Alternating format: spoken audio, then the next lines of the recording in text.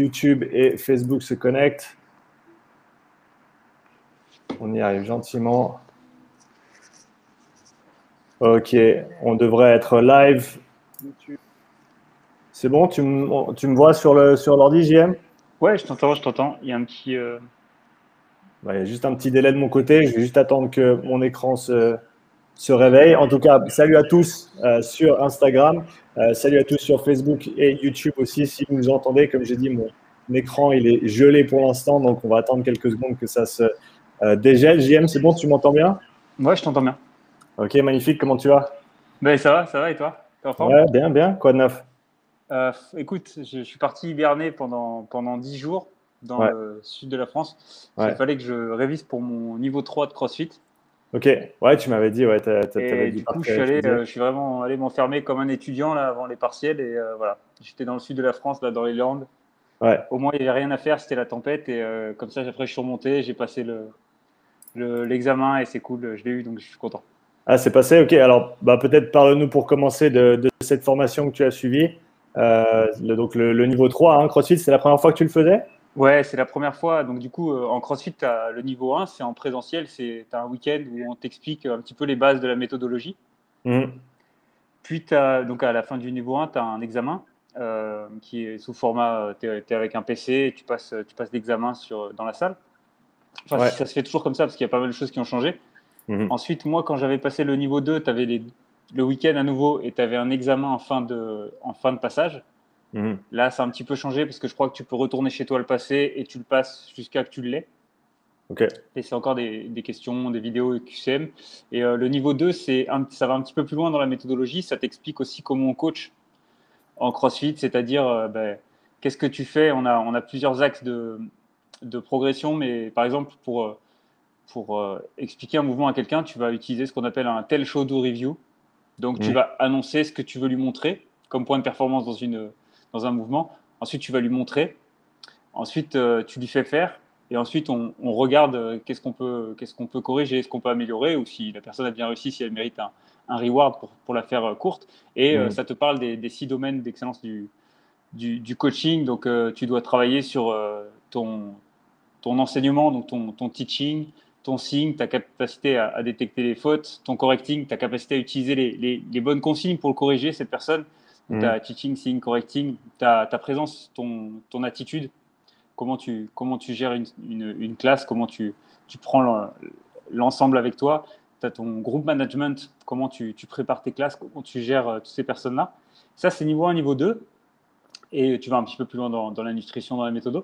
Et niveau 3, en fait, c'est en ligne, c'est pas encore, euh, c'est pas encore en, français. Et le, mm. le niveau 3, c'est normalement pour te donner le, le, le, titre d'entraîneur certifié de CrossFit. Donc, à la base, ça serait presque le niveau que tout le monde devrait avoir pour, euh, pour enseigner le, CrossFit. Ouais. Maintenant, euh, ça reste un QCM. Je veux dire, quelqu'un qui a un niveau 3, ça se trouve, c'est pas un bon coach de CrossFit. Et quelqu'un, ça se trouve, il y a d'excellents coachs de CrossFit qui n'auront, ça se trouve, jamais le niveau 3 parce que bah, le QCM reste en anglais. Tu sais, c'est des questions un petit peu sneaky parfois. Ouais. C'est, enfin, pour nous, Français, en tout cas, je pense que moi, j'étais devant l'examen, je me dis, mince, il y, a des, il y a des trucs où j'avais envie de, de reformuler la question. Ouais. Et le niveau 3, c'est quand même intéressant. C'est, euh, tu as 160 articles à revoir sur euh, différents domaines. Donc, euh, ça va de la, la le, tout, tout, est gratuit en ligne. Vous pouvez aller voir ça sur crossfit.com, mais c'est, ça touche à, au domaine d'enseignement, de, de, correction des mouvements, de connaissances biomécaniques, de nutrition, mmh. mais mmh. également de responsabilité légale, de prise en charge de, je sais pas moi, des trucs complètement courts, mais tes assurances, des trucs comme ça. Euh, comment, tu, comment tu nettoies, qu'est-ce que tu fais par rapport à quelqu'un qui a saigné sur une barre mmh. euh, Ça peut aller jusqu'à la connaissance des barres. Tiens, qu'est-ce qui est important dans une barre d'altéro, une barre de, une barre de, de powerlifting? Donc des articles là-dessus, tu vois, sur le yield strength, sur la, la, la, capacité de cette barre euh, à, à, se tordre et à revenir, la mm. capacité de rotation, le, la, la, résistance par, par, par, par, par square, enfin inch per square, mais tu vois, tous ces petits trucs-là, c'est autant de choses qui vont faire de toi un coach qui a, qui a une, plus grande, une plus grande accessibilité aux informations qui sont en dehors de ton petit cercle de CrossFit. tu as 160 articles et tu as les quatre manuels à regarder. Donc les manuels, c'est level 1, level 2 et tu as le manuel d'entraînement des masters et tu as le manuel d'entraînement des kids. Mhm. parce que tu n'entraînes pas forcément une personne qui a plus de 50 ans comme tu vas entraîner quelqu'un qui a moins de 17 ans. Mhm. Et euh, c'est vraiment très très cool. C'est des bonnes informations et euh, voilà, j'ai été passer le, truc. Euh, je te dirais, je l'ai eu et j'étais content. Je faisais pas le malin en sortant. Mhm. Et voilà, donc maintenant c'est cool. Ça va me permettre de, de, repartir sur la pratique parce que c'est intéressant les examens, mais ça ne se fera pas coacher mieux tout de suite. ouais, ouais. Et pour toi, donc c'est c'est une formation que tu recommanderais à, ceux qui coachent dans le CrossFit de manière générale? Ouais, ben, au-delà d'aller passer l'examen ou de ne pas l'avoir, parce que je pense que ça, c'est quand même. Enfin, je, connais des gens qui ne l'ont pas eu forcément et qui sont des bons coachs. Et euh, j'ai eu euh, quelques retours sur Instagram de personnes qui l'avaient essayé l'année dernière et qui m'ont dit bah, bravo, etc. C'est cool. Et euh, c'est un petit peu comme, tu sais, il y a des gens qui réussissent à la fac et il y a d'autres qui réussissent pas à la fac. Mmh. Et pourtant, c'est des gens qui sont tout-terrain. Il y en a, ils ne feront pas une carrière à la fac, c'est des tout-terrain, c'est des mecs. Bah, tu, vois, on pourrait parler de Fred Marcero, ouais. que tu as eu dans le podcast. Je mhm. Je suis pas sûr que son envie, c'était, euh, tu vois, STAPS, c'est des trucs comme ça, faire des longues études en STAPS ou faire un doctorat. Mhm. Mais ce mec-là est tout-terrain. Il aura compris les mêmes choses que le mec qui arrivera, je euh, je sais pas où, euh, en fin d'études STAPS aurait été, parce qu'il s'est arrêté un petit peu plus tôt pour quelqu'un qui a son, son, son palmarès, son niveau. Ben, c'est mm. un petit peu pareil dans les QCM, c'est ce qui me gêne. Donc je te dirais, c'est important d'aller étudier tout ce qu'il y a à faire. Je pense que c'est important d'aller se frotter à ça. Si tu as envie d'être reconnu ou d'avoir, parce que c'est un, un, passeport international aussi, vu que ça te, ça te donne euh, l'accréditation d'entraîneur euh, aux États-Unis, mm. de pouvoir entraîner aux États-Unis. Mais je pense que l'important, il est dans le fait d'aller se confronter à, la connaissance qu'on t'apporte là-dedans et gratuitement, mm. plutôt que dans le fait de l'avoir ou pas le ticket. Je suis pas, voilà, je suis pas un grand fan de, validation par QCM, quoi. Mhm. Ouais, ouais, c'est clair que c'est au-delà, mais au-delà de l'examen et du papier, c'est une formation qui, qui, vaut le coup pour ceux qui veulent approfondir leurs connaissances au côté CrossFit. Et côté CrossFit, en plus, euh, tu es souvent tiré comme ça à balles réelles, mais quand tu lis des trucs comme les kids, les masters, maintenant il y a la formation en kids des masters. Mhm. C'est hyper, enfin, c'est hyper intéressant dans la manière dont, dont tu apportes le coaching, comment tu vas gérer une personne, euh, si elle veut faire de la compète ou pas, passer 50 ans, parce qu'il y a ça aussi. Mhm. Euh, différents modèles, euh, tous les biais que tu peux avoir toi par rapport à ces gens-là qu'il faudrait pas que tu. C'est, franchement, ça m'a, fait relativiser plein de trucs sur l'entraînement des personnes un peu plus âgées que nous ou un peu plus jeunes aussi sur les kids. Mhm. Et euh, ouais, c'est toujours bon à prendre. est-ce que c'est, une formation qui existe depuis longtemps ou est-ce qu'ils l'ont, ils l'ont développée en cours de route après avoir eu le level 1 et level 2 pendant un certain temps? Ouais, je pense que c'est, une, c'est, nouveau. Enfin, le niveau 3 et il y a le niveau 4 euh, c'est des formations qui ne sont, pas, qui sont pas toutes nouvelles non plus. Elles ont plus de trois ans, je pense, quand même. Ça fait mhm. trois ans qu'elles sont en place. Elles ont encore évolué. Mhm. Tu as beaucoup de formations en ligne et tu as beaucoup de. En fait, si tu veux conserver ensuite ton niveau 3, il va falloir que tu renouvelles tes, tes CU, donc mhm. tes, tes, unités d'apprentissage. Et donc, tu peux aller te former dans des, des formations qui, sont, qui donnent des points avec CrossFit, mais qui ne sont pas forcément. qui n'appartiennent pas forcément à CrossFit et de faire des formations qui sont typiques euh, CrossFit, qui vont donner d'autres points, mais il faut que tu arrives à 50 CU en 3 ans. Hmm.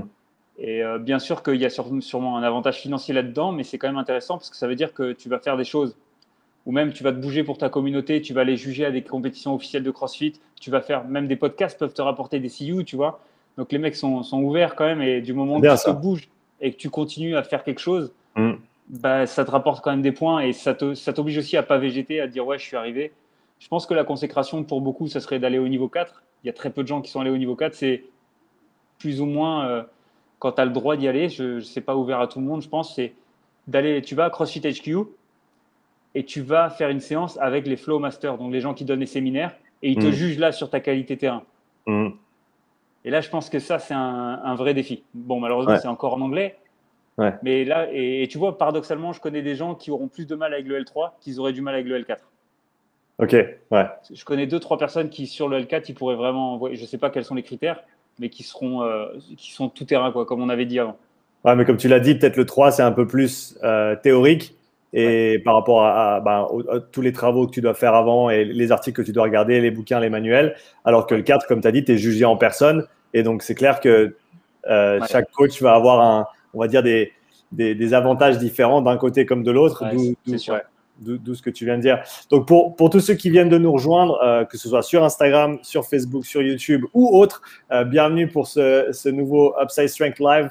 Euh, questions et réponses entre coachs. Aujourd'hui, on a avec nous Jean-Marie Péoche. Merci de, de, de participer aujourd'hui, Jean-Marie. Ben, merci à toi. Ça fait toujours plaisir de, de te reparler là. Ouais, ouais, on avait eu un, chouette petit entretien sur le podcast. C'était vraiment une chouette discussion, surtout la dernière demi-heure pour ceux qui l'ont pas encore écouté, je pense qu'on on est parti un peu en freestyle à la fin des questions et honnêtement, j'avais, j'avais bien aimé. C'était, vraiment cool euh, comme hein. conversation. Ouais, c'est ça, c'est ça. On va se dire aussi qu'on s'est rendu compte qu'on avait des gens qu'on avait connus en commun, qu'on a connus en bringue en commun. Des gens qui ont fait le rapport en écoutant le podcast, ça m'a fait beaucoup rigoler. C'est ça. Voilà, ouais. C'est donc ouais, pour euh, on va on va le citer. Hein, c'est, c'est Yann, c'est un ami à toi et j'ai rencontré Yann quand j'étais, quand j'ai fait mon petit voyage en Australie quand j'avais euh, une vingtaine d'années. Et on s'est retrouvés sur une ferme tous les deux à, bosser, à travailler, à construire une maison avec des briques d'argile. Et euh, bah, c'est clair, à faire la fête un petit peu tous les soirs. Donc c'est, le monde est petit. C'est clair. Et donc, pour tous ceux qui sont là avec nous aujourd'hui, n'hésitez pas à nous mettre un petit commentaire pour nous dire d'où vous écoutez, euh, qui vous êtes et ce que vous faites aussi. Comme ça, on a deux, trois infos sur le, public qui participe. On a pas mal de monde sur Insta déjà. Donc, mettez un petit commentaire, prenez deux, secondes, euh, notez-nous un petit bonjour, euh, d'où vous écoutez, qu'est-ce que vous faites dans la vie. Et si vous avez des questions, c'est le moment de commencer à les écrire aussi dans les commentaires. Donc, encore une fois, que ce soit sur Insta ou sur les autres plateformes, euh, mettez vos questions dans le chat. Si vous n'avez pas de questions, donnez-nous juste un petit bonjour. Comme ça, on sait que vous êtes là et que vous écoutez. Et puis, comme ça, on va pouvoir commencer à, attaquer les questions. On en a déjà une de Jero, donc je vais la mettre à l'écran ici. Et Jero, salut à toi, Jero, merci de participer. Il nous demande il y a des bons coachs qui n'auront jamais le niveau 3 et que certains ont le niveau 3 mais ne sont pas de bons coachs. Comment on pourrait faire pour rectifier ce problème? Qu'est-ce que tu en penses? Alors, ouais, je vais, je vais reformuler si c'est si ça que j'ai fait passer comme information je dis pas que les gens qui ont eu un niveau 3, euh, enfin, je ne sais pas à moi de juger ou pas si c'est des bons coachs. Il faut que je fasse attention à euh, comment je l'ai formulé. Je pense que ce que je voulais dire, en fait, c'est que l'examen ne fait pas le bon coach. Hmm. Mais forcément, quelqu'un qui a eu de l'intérêt pour aller jusqu'au niveau 3 et le passer, il y a des chances que ce soit quelqu'un qui soit vraiment euh, dans sa discipline, quelqu'un de très intéressé, donc qui se soit développé comme il faut pour, pour, pour rendre le, coaching viable. Et hmm. ensuite, c'est comme rien ne sera jamais parfait. Tu vois, on a fait des formations en STAPS euh, jusqu'au master et tu sors de là et tout le monde te le dira, bah ouais, mais je ne sais pas vraiment coacher. Ouais. À l'inverse, ben, tu fais un BP et on te dira, oui, mais en sortant du BP, c'est le début de ta vie de coaching. C'est maintenant, va faire les séminaires, va voir les mecs qui sont professionnels dans le métier et commence. Mm. Alors, comment faire pour rectifier le problème? En fait, je ne sais pas si c'est vraiment un problème. C'est plus, euh, vu que, en fait, dans les conceptions, toujours, c'est très hiérarchique. C'est-à-dire que tu vas à un niveau 1, tu vas à un niveau 2, tu vas à un niveau 3 où tu vas de la licence au master, etc., on a toujours l'impression que plus haut, c'est mieux. Hmm. Et c'est ce que je pensais avec Fred, c'est que parfois, ce n'est pas la vérité. C'est euh, quand tu t'arrêtes à un certain niveau, ce qui est important, c'est de savoir euh, ce que tu avais besoin pour embrayer et vers où tu vas derrière. Je pense que euh, qu'est-ce que c'est un bon coach? J'avais écouté un, podcast avec, comment il s'appelle? Le Canadien. Le Canadien. Lequel? Il y en a plusieurs. le livre noir des secrets de l'entraînement. Thibaudot ah, Ouais, ouais, pardon, ouais, Thibaudot, ouais. Et Christian, Christian il, disait, il disait euh, euh, que son, un de ses mentors lui demande euh, Christian, c'est quoi qui fait un bon coach? Et Christian, il dit Bon, ben, c'est c'est la personne qui sait gérer les variables liées à l'entraînement pour obtenir la meilleure réponse possible de l'athlète à ces variables et, mm. et amener le progrès. Mm. Et le regard, il fait Non donc, du coup, il reformule et il dit bon, bah, c'est euh, la personne qui prendra le mieux en compte les aspects individuels de tout à chacun pour gérer ses variables, pour emmener euh, le jour J la personne à. Enfin, c'est une, réponse qui ressemble à ça sur toutes les variables d'entraînement et comment tu les gérais. Et il la regarde, il dit euh, non. Et il dit mais enfin, explique-moi là, je comprends pas. C'est quoi alors C'est quoi un bon coach? Et le mec lui dit ben un bon coach, c'est un mec que tu crois en fait. C'est un mec auquel tu crois parce qu'il dit euh, on s'en fout de ce qui a marqué sur le papier, si ça a été bien, euh, bien étayé dans le temps, si les charges sont bonnes, si c'est les bons pourcentages ou pas. Parce mhm. qu'à partir du moment où tu n'as pas confiance en, en, mec qui te donne ça, ou alors il n'y a pas assez de crédibilité, ben, tu, perds, tu, perds, tu perds cette aura sur la, personne et, mhm. et, la personne n'a pas envie de te suivre. C'est un truc auquel on est beaucoup confronté. Euh, tu sais, quand tu fais, des, quand tu fais beaucoup de formations ou beaucoup d'études, mm. il y a bien un moment où peut-être que tu n'es pas en train d'assez pratiquer. Hmm. Et, parfois, on dit ouais, mais c'est abusé. Lui, c'est un, lui, un sportif de haut niveau, c'est pas un coach. Alors pourquoi il sort ses formations? Et tu as ça. As, moi, j'ai déjà eu ce ressentiment il y a quelques années. C'était oui, mais lui, c'est pas un coach, hein, c'est juste un mec qui a fait du haut niveau. Oui, mais en fait, c'est un rôle modèle et il a des clés d'enseignement sur son expérience que tu n'as pas par les connaissances. Hmm. Et moi, je pense qu'il faut une balance où on le voit de plus en plus. Moi, je suis, je suis impressionné par beaucoup de coachs qui se comportent maintenant comme des sportifs de haut niveau, autant dans la connaissance que dans la pratique. Mmh. Parce qu'ils ont besoin d'inspirer et ils ont besoin de montrer qu'ils savent faire les choses qu'ils demandent ou au moins ils, essayent de comprendre où euh, l'athlète euh, serait, en, serait en peine quand euh, il fait les programmes. Mmh. Et je pense que toi, tu t'en avais parlé en plus avec Julien, j'avais écouté sur le, fait de faire les programmes pour se rendre compte que des fois, tu es complètement à côté de la plaque. Et moi, je pense qu'un bon coach, c'est un coach qui t'inspire mmh. et qui, qui prêche pour sa paroisse, c'est sûr, parce que des coachs, tu en as partout. Maintenant, en plus, tu as, un lien entre coach et préparation physique qui n'est pas très clair. Mhm.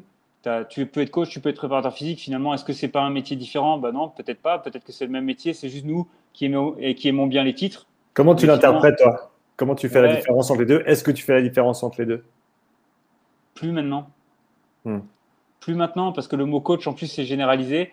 Et puis, il y a des gens qui font une super carrière en partant d'un BP, à qui on a dit tu n'y arriveras jamais parce que tu as un BP. Et des mecs s'en sortent très bien, ils font les bons choix, et tu montres que tu as envie et tu t'en sors. Donc, je pense qu'il n'y a pas besoin de, de, Je pense que les gens qui s'attachent beaucoup au titre mhm. sont des personnes qui ne sont pas très en sécurité dans leur poste. Mhm. Ça, c'est intéressant comme. Euh, c'est intéressant comme point parce que c'est vrai que c'est toujours. et, il me semble, je ne sais pas, mais personnellement, pour moi, c'était l'attrait des lettres, la, salade de, la salade de lettres après ton nom.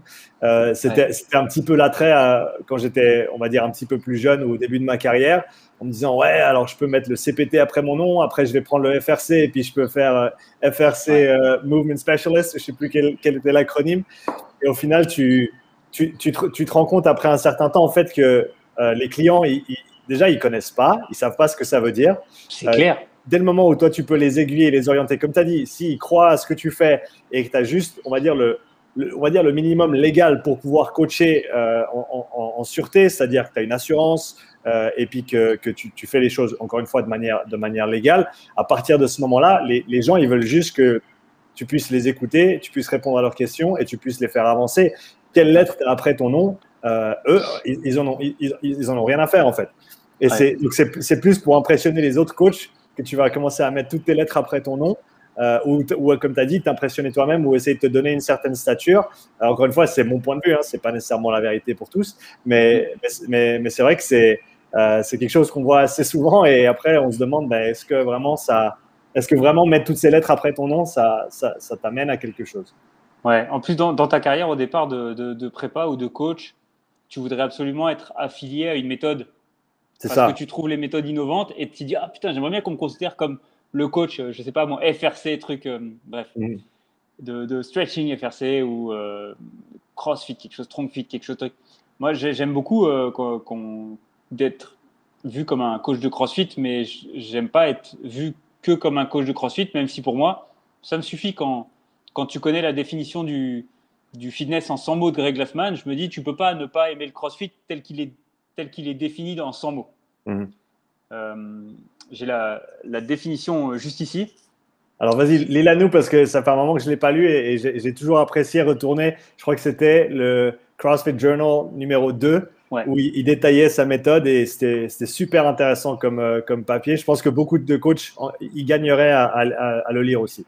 Ouais, c'est euh, la base, c'est le fitness en 100 mots. Alors au début, c'est la nutrition. La prescription de la nutrition, c'est tu vas manger de la viande, des légumes, tu vas manger des noix, des graines, tu vas manger quelques fruits, peu de féculents et pas de sucre. Donc pas de sucre, pas de sucre ajouté, des choses comme ça. Quand on dit viande, on dit viande, poisson, œuf, les sources principales de protéines. Quand on dit noix et graines, c'est noix, graines et huile pour les lipides. Et ensuite, pour les légumes, en fait, tu vas éviter tout ce qui est, tout ce qui est raffiné. Euh, little starch and sugar. Ensuite, on va garder les apports à un niveau qui supporte l'entraînement physique et pas la masse grasse. Donc en gros, ben, voilà, tu, dois quand même gérer ta quantité. Si tu deviens trop fat, c'est que tu es en train de trop manger. Si tu mhm. deviens trop maigre, peut-être que tu n'as pas assez de fuel. Et ensuite, c'est pratiquer et s'entraîner sur les lifts majeurs. C'est-à-dire qu'on va parler des deadlifts, des cleans, des squats, des presses, des clean and jerk et des snatchs. Je ne sais même pas pourquoi je la regarde parce qu'en vrai, je la connais. Mais bon. Similairement, il va falloir masteriser, maîtriser toutes les basiques de la gym. Donc là, en ordre, pull-up, les dips, les rope climb, les push-up, les sit-up, ensuite les press to handstand, c'est là où ça deviendrait un petit peu plus difficile, mhm. les pirouettes, les flips, les splits et les holds. Faire du vélo, de la course à pied, du rameur, de la nage, etc. Essayer de le faire de manière dure et intense, euh, intense et rapide, pardon. Ensuite, 5 à 6 jours dans la semaine, faites avec tous ces, tous ces mouvements, avec tous ces éléments, autant de combinaisons que possible à ce que la créativité vous permet. Hmm. La routine, c'est l'ennemi. Gardez vos entraînements plutôt courts et intenses. Et ensuite, allez régulièrement apprendre et jouer des nouveaux sports. Hmm. Sincèrement, si on accepte le côté que quand tu ouvres une salle et qu'il y a un business, bah, tu ne pourras pas exactement maîtriser cette définition du fitness en 100 mots. Un mec qui a un garage gym et qui veut s'entraîner à devenir meilleur dans le fitness, ben pour moi, euh, je sais que c'est ce que je vais prendre, c'est tu t'entraînes à soulever différentes charges, tu t'entraînes à maîtriser ton corps sans les charges, tu mm. prends du temps pour maîtriser ces choses-là, pas, pas, pas, juste te mettre des cartouches. Et pourtant, je suis un, je suis un gros fervent de la cartouche. J'adore me mettre minable sur un, sur un ergo. Euh, c'est mon, mon passe-temps préféré depuis que j'ai arrêté le rugby, on va pas se mentir. Mais des fois, je prends pas assez de temps de maîtriser les basiques de gym, les basiques en altéro, même si j'aime bien ça, développer les, les, soulever les charges, etc. Mm. Et, euh, et régulièrement, boum, le vélo, le truc, aller, aller nager, aller voir tes, points faibles, prendre du plaisir, le faire avec des potes et aller apprendre d'autres sports. Et on n'apprend plus rien. J'allais dire, c'est peut-être là où la majorité des gens pêchent du côté euh, développement athlétique très général, euh, plus côté santé qu'autre chose. C'est ça. C'est alors oui, développe tes compétences physiques, développe tes qualités, euh, développe ton endurance, ta force, ta puissance, mais après va les appliquer dans quelque chose va voir ce que ça te permet de faire, va te voir ce que ça te permet d'explorer, que ce soit, euh, je sais pas, va, va louer un VTT euh, électrique et va, va loin dans la montagne, va explorer, va faire du ski, va faire de la peau, euh, va, comme tu as dit, va jouer un sport, sport d'équipe, sport individuel, et essaye d'élargir ton, ton, panel en fait le plus possible. mais, mais et corrige-moi si, si j'ai tort, ma, ma, perspective en tout cas sur la majorité des, des gens qui, qui font du CrossFit, et absolument rien contre eux bien sûr, mais c'est une peine énorme à sortir de ce cadre-là, en fait. Et c'est de en fait, vraiment rester enfermé dans ces 30 mouvements qui, on va dire, sont les mouvements clés pour la compétition CrossFit, mais qui en aucun cas sont une nécessité pour un maintien de la, santé générale absolue tout le temps. Et il ne faut pas seulement se focaliser là-dessus. Ouais, c'est ça aussi qu'on retrouve. C'est pour ça que les CrossFit Games sanctionnent autant hmm. les, les, personnes qui ont fait. Euh, avant, il y avait la phase des regionals, mais tu pouvais être un très bon, tu peux, tu peux être un très bon athlète des Open. C'est très verrouillé. Les Open, c'est pour tout le monde. Donc, euh, tu auras un dumbbell qui va sortir, tu auras tout ce qu'il y a dans la salle. Mais euh, ça va être euh, voilà, des temps qu'on connaît à peu près sur, sur, les, sur, sur, ce qui va sortir. Quand tu vas, à l'époque, il y avait les regionals. Et quand tu allais aux regionals, tu savais que le niveau allait être un petit peu plus élevé, les barres un petit peu plus lourdes, mais tu restes dans une même salle. Donc, tu n'avais pas trop de surprises sur ce, que, ce qui allait tomber. Des mix, euh, beaucoup de, de gym et d'altéro. Il y avait du Metcon, mais tu vas pas sortir dehors normalement. Donc euh, voilà. Mais par contre, quand tu arrives aux Games et que d'un coup on dit bah, aujourd'hui c'est semi-marathon et puis demain on voit ce qu'on fait à la course, ou alors c'est marathon rameur et demain on ira soulever des barres et on verra si vous êtes toujours aussi fringants les loulous. Si tu sais pas nager, si tu sais pas faire de paddle, si en fait si tu n'as pas exposé ton corps à différentes contraintes, ouais, ça devient beaucoup plus difficile. Et mm. je pense que le vrai fitness, il est là. Il n'est pas d'apprendre à faire parfaitement quelque chose, même si c'est super intéressant, parce qu'il dit quand même master, donc il faudrait apprendre à maîtriser. Mm. Mais ce qui est intéressant, c'est quand même d'avoir une pratique régulière sportive, d'aller se diversifier. Et je pense que tout ce que tu obtiens dans les sports, tu ne l'obtiens pas nécessairement en salle non plus. Mm. Si on parle de développement athlétique, mais il y a, y a, quelque chose d'athlétique que tu développes que, euh, que dans le sport lui-même, que, dans une, que sur une, une interaction avec l'événement, l'environnement extérieur. Tu sais, la mmh. réaction, le changement d'appui. La, la, réactivité, il n'y a, pas, a pas cet élément-là nécessairement dans le, dans le crossfit en tant que tel. Tu n'as pas un, adversaire contre qui jouer ou euh, à qui tu dois réagir euh, pour ensuite pouvoir euh, effectuer telle ou telle tâche. Et, comme tu l'as dit, donc c'est vrai que c'est vraiment un monde qui est assez différent en fait. Le monde, tu vois, sport d'équipe, ben, on parle de rugby parce qu'on est tous les deux, on a tous les deux été là-dedans pendant, pendant un bon moment. C'est c'est ça en fait, c'est l'application de toutes ces qualités physiques que tu as développées, mais après dans un contexte de jeu avec certaines règles et avec certaines contraintes qui sont très très différentes quand même de, l'environnement de la salle. Ouais, c'est clair. C'est complètement ça. Mhm. Euh, et je ne sais plus ce qu'était la question au départ, pourquoi on est parti sur le fitness en 100 mots. Euh, c'était sur ton mur et euh, c'était, mais je crois que c'était un bon enchaînement. On a, on a répondu à la question au préalable déjà. Donc encore une fois, pour ceux qui nous ont rejoints en cours de route, n'hésitez pas à nous mettre vos questions dans le chat. Je vais revenir un petit peu sur Insta. Il y avait une question de Adri. Hello, est-il judicieux de passer le level 2 sans avoir donné beaucoup d'heures après le level 1 Qu'est-ce que tu en penses, JM Normalement, il conseille d'avoir un certain nombre d'heures de mmh. pratique. Mmh. Le petit souci, c'est que souvent, quand tu sors du level 1, pour l'instant, tu sais pas trop que tu sais pas coacher. Dans, dans la méthodologie CrossFit, on s'entend. Dans l'enseignement d'une mmh. classe, c'est-à-dire que c'est ce que tu vois souvent en, niveau 2. Euh, je faisais des traductions aussi pour CrossFit, parfois au, séminaire. Et c'est vrai que tu débarques et euh, bien sûr que tu as vu le niveau 1, mais je veux dire, deux jours dans ta vie, ça va pas changer ta vie, même si tu lis les articles, etc. Tu ne le vois pas pratiquer, même si là, maintenant, on essaye vraiment, je pense, de, diversifier l'offre avec des vidéos et des choses qui peuvent t'aider, même sur YouTube. Mhm. Mais euh, quand tu fais le level 2, c'est vrai que tu as un vrai retour sur, euh, sur la pratique et, tu comprends un petit peu tes biais. Parfois, tu les comprends pas. Parfois, tu n'es pas encore assez. Euh, y a, y a des, moi, j'ai déjà, entendu des mecs qui sortaient du level 2 et qui ont dit Moi, j'ai rien appris. Mhm c'est ok. Enfin, je veux dire, si tu penses que tu n'as rien appris, tu penses que tu n'as rien appris, c'est pas grave, ou tu ne veux pas voir là où, peut-être tu, fais défaut. Mais normalement, au niveau 2, là, tu vas passer et le mec va venir vers toi. Et franchement, tu peux le passer assez rapidement quand même après le niveau 1. C'est cool, je trouve, d'essayer de faire ses armes parce que c'est plus dans la connaissance du crossfit. Tu vas savoir de quoi on parle. Donc, quand tu arrives dans le niveau 2, ça va, ça va plus vite et euh, c'est plus facile à suivre comme séminaire. Le mmh. niveau 2, il t'apporte toujours un plus parce que là, tu as un vrai retour, tu as un feedback et le lendemain, tu reviens et tu recoaches le groupe de 3 ou 4 avec lequel tu es. Ouais. Et, donc, euh, en respectant euh, ce fameux tel show do review, en respectant, mais est-ce que tu es capable de, de, mettre des gens en cercle? Est-ce que tu es capable de, de, démontrer le mouvement, mais d'être sûr que tout le monde l'a vu de, de tout l'angle possible Parce que tu fais un cercle, forcément, tout le monde ne te verra pas? Ou alors, où est-ce que tu te places quand tu veux parler à quelqu'un? Est-ce que tu est-ce que es tout le temps rentré dans le cercle pour parler à quelqu'un en face? Est-ce que mm. tu sais sortir du cercle et analyser les personnes? Quand tu corriges une faute dynamique, est-ce que tu regardes qu'une seule personne? Parce que normalement, si tu regardes une faute, une faute dynamique, tu vas pouvoir voir qu'une seule personne. Par contre, quand tu corriges des fautes statiques, tu peux laisser tout le monde en suspense en haut ou en bas et là corriger beaucoup de fautes statiques. C'est toute une mécanique comme ça qu'il faut apprendre. Mm.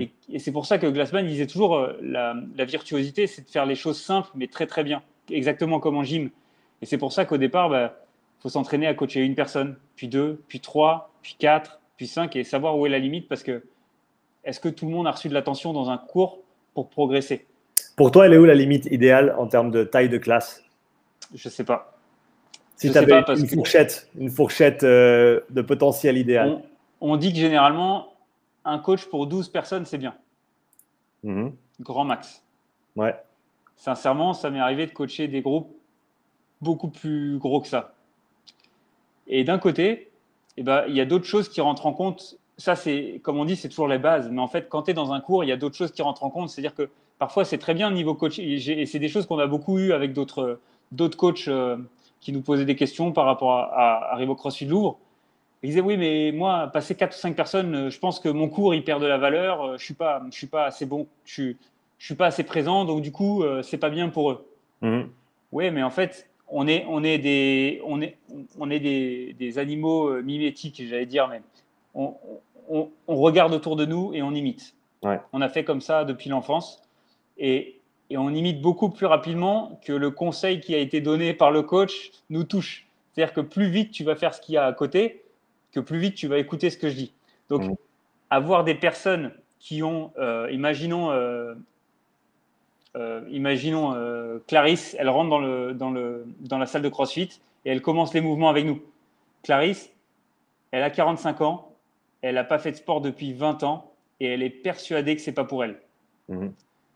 Et là, d'un coup, elle se retrouve dans un groupe où elle voit des femmes qui ont son âge et qui ont des poids sur la barre et qui bougent beaucoup mieux qu'elle et qui comprennent exactement ce qu'on est en train de faire, qui n'ont pas de peur. bah, Clarisse, je peux être le meilleur coach du monde, mais le bienfait, il vient pas forcément de moi. Il vient du fait que ces personnes-là sont présentes avec nous et mm. qu'elles ont progressé bien sûr à nos côtés. Mais elles ont progressé et elles donnent une image de là où tu peux aller. Elles donnent une image de où tu peux te projeter.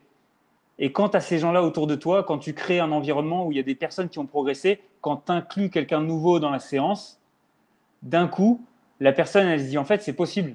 C'est pas un problème. En fait, ces gens-là, ils sont pas vraiment plus musclés que moi. En fait, ces gens-là, ils sont pas vraiment plus jeunes que moi. Et le mimétisme va faire pour, euh, pour beaucoup. Et le deuxième levier, c'est quand tu as une classe qui a euh, les, les, trois sont là depuis longtemps, quand, quand tu arrives à faire la rétention, parce que c'est des choses dont on ne parle pas dans les salles, c'est bien beau de vouloir avoir 1000 prospects par jour, parce que je vois ça des fois qui passent sur les pubs, etc. Et euh, en ce moment, on travaille avec, euh, on travaille sur Operative Excellence avec Daniel Chaffet, donc on va, on va proposer des, des, séminaires et des séminaires en ligne sur le coaching mmh. en France et avec, bah avec des gens que tu connais peut-être, mais c'est Elie Margerin chez Kershaw, avec, avec David, avec Daniel. Mmh. Et le, faut pas, il y, a, la base et il y a ensuite tout ce que tu peux avoir. Par exemple, quand tu as une classe qui a 15 personnes, mais que dans les 15 personnes, il y en a peut-être 10 qui sont déjà depuis plus de 3 ans avec toi parce qu'ils sont contents d'être là, parce que la, la, meilleure heure de leur journée, elle se passe chez toi. Ils viennent vraiment rigoler parce que c'est bien, oui, c'est technique, mais il faut que la personne elle vienne prendre un kiff énorme. Si à chaque fois tu es trop strict, si à chaque fois tu es, peut-être trop militaire, parfois tu l'es pas assez, ça va pas marcher non plus, mais il faut que les gens ils viennent prendre un putain de kiff eh ben, si tu inclus au compte-goutte des gens, parce qu'ils viennent au fur et à mesure après leur séance d'initiation dans la séance, mhm. ils vont peut-être trouver une énergie aussi complètement différente que si tu avais eu un cours à 4 ou 5. Je suis désolé, mais j'ai fait des cours à 18 ou 20 ou peut-être plus. Et sincèrement, des fois, il y, a une, y a une ambiance de feu. Et, et ça aussi, tu en as besoin. Tout à l'heure, on parlait du coach qui est incroyable et qui connaît tout. Mais en même temps, si tu ne sais pas motiver les gens, bah là, le levier de groupe, c'est un petit peu la même chose. Quand tu as une ambiance de malade mental dans un groupe, et qu'on est prêt à, envoyer, et d'un côté, ils sont prêts à, toujours être coachables, mm. bah, tu te régales. Et ça, c'est une meilleure pub que toi avec toute ta connaissance et tes mots et tes, tu vois. Et, ouais, et, tout, et, ta, et, ta, salade de lettres après ton nom. et ça, ça c'est quelque chose que je vois. J'ai euh, un ami, ben, David Rivera, qui coach ici, qui a sa salle pas loin de, de chez moi. Euh, Basics Fitness. Un petit, un petit salut à toi, David, si, euh, si tu as la chance de nous écouter ou si tu as le, temps de nous écouter, parce que je sais que tu es très occupé. Là, à l'heure actuelle, avec les restrictions en Suisse, on n'a pas le droit, les salles sont fermées. Par contre, tu as le droit de faire du coaching dehors. Donc, il a mis en place des plateformes temporaires devant sa salle. Tu as le droit d'être cinq personnes. Donc, il a fait quatre plateformes plus le coach. Et en gros, il coach en extérieur. Euh, je crois qu'il propose 40 ou 50 cours par semaine. C'est vraiment un truc de dingue. Et, mais, tu le vois, le, la communauté qu'il a créée dans sa salle, euh, c'est vraiment des gens qui sont passionnés et qui vont non seulement pour se dépasser, mais aussi vraiment parce qu'ils ont un groupe, euh, c'est un groupe d'amis hein, tout simplement, qui, passent du super temps ensemble. Et, c'est ça qui, bah, ça, fait vraiment une ambiance qui est, assez unique dans la salle. Comme tu l'as dit, au-delà de, euh, des, qualifications du, coach ou, ou, quoi que ce soit, c'est comme tu l'as dit, pouvoir motiver les gens sur le long terme, c'est ça en fait qui, c'est ça en fait le facteur déterminant de la réussite ou pas d'une personne. Ça va être est-ce que tu peux faire en sorte qu'ils adhèrent à ce que tu proposes pendant assez longtemps pour voir les changements nécessaires? Parce que c'est ça le truc, c'est qu'on parle toujours de deux mois, trois mois, mais les changements qu'on veut, qu'on veut atteindre souvent, c'est de l'ordre d'années de, qu'on doit parler. Euh, certains objectifs sportifs ou même des objectifs de vie, tout simplement. Est-ce que voilà, tu as 40 kilos à perdre Ça va pas se faire en trois mois, ça va pas se faire en six mois. Euh, et il y a des, des, répercussions derrière et, et, du temps qui doit être pris pour développer d'autres qualités qui, qui va prendre simplement du temps. Et, et, et c'est ça, c'est faire comprendre aux gens dès le départ que ça va être un travail de longue haleine, ça va pas être fait rapidement. Et donc, pour qu'on s'éclate euh, sur ce, sur ce long, long cheminement, eh ben, il faut qu'il y ait, d'autres choses en place aussi, au-delà d'un programme parfait et d'un coach surqualifié. Ouais, c'est clair. Et euh, tu es étonné souvent par, euh, moi je trouve, euh, c'est un article de Greg Ladon qui le, qui le retraite aussi, mais qui dit Vous serez étonné de, de la, petite, la petitesse des, des ajustements qu'un excellent coach fait avec des personnes, même débutantes, ou même des personnes très confirmées. Et, et c'est vrai que c'est un truc, quand tu sors d'études, tu utilises les mots, la salade de mots, tu utilises des mots trop compliqués pour te faire comprendre. Et tu es persuadé aussi que si tu n'en fais pas assez, ça va être négatif pour toi. Mm. Et je pense que plus tu t'assois sur ton, ta compétence, plus ça va, plus les choses sont simples. Elles ne sont pas simplistes, elles sont pas, mais elles sont simples. Mm. Et toi, tu attends quelque chose de simple, mais clair. Et mm. plus c'est simple et clair, plus ça coule de source. Mais bien sûr que vu de l'extérieur, parfois, tu peux passer pour un coach qui est en train de, laisser quelque chose se faire.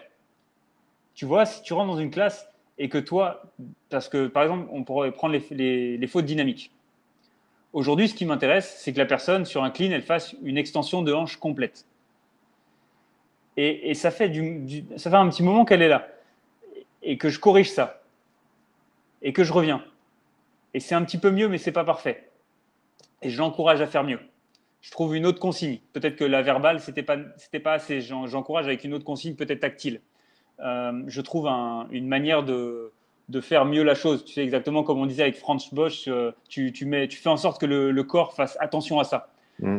Et, et peut-être que vu de l'extérieur, une personne qui analyse et qui sera très très bon coach va se dire mais attends, euh, au moment de l'extension, il a peut-être un petit peu trop le poids sur l'avant-pied ou peut-être l'inverse au moment de l'extension, j'ai l'impression qu'il fléchit un peu les coudes. Ton athlète, au moment de l'extension, j'ai l'impression qu'il ne regarde pas totalement droit devant lui. À la réception, j'ai l'impression que ses coudes ne sont pas très hauts. Oui, on sait. Mais c'est pas grave. Parce que cette personne-là, quand elle est coachée, elle vient progresser. On a le temps de la faire progresser. C'est OK d'accepter les erreurs. Mm. C'est OK d'accepter. Attention, pas n'importe quelles erreurs. Pas les erreurs qui te mettent en porte-à-faux vis-à-vis de ta santé. Mais si je corrige quelque chose et que je veux vraiment qu'il ait un impact avec elle, au lieu d'aller me mettre 30 consignes différentes dans la gueule pendant toute la journée pour qu'elle améliore tout, mais qu'elle n'en retienne rien, parfois, il vaut mieux se concentrer sur quelque chose de précis, de dire voilà ce que j'attends de toi, et quand elle le fait, boum, bravo, c'est bien, merci. Mmh. C'est genre, là, j'ai vu que tu as essayé, là, j'ai vu que tu as progressé.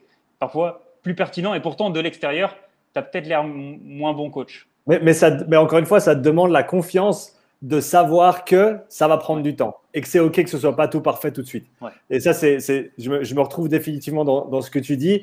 Euh, quand, quand j'étais, euh, bah, il, y a, quelques années, quand j'ai commencé, c'est comme tu l'as dit, c'est première séance, tu t'assieds sur le rameur. Ah non, il faut, alors faut faire ça, faut faire comme ça, faut tout, faut que tout soit parfait. Et, et, maintenant, je me retrouve et, j'adore le rameur et j'en ai fait en compétition. Je, je, je, sans trop de prétention, je sais comment bouger sur un rameur euh, et je sais comment l'enseigner aussi. Et j'ai commencé avec un jeune il y a pas longtemps.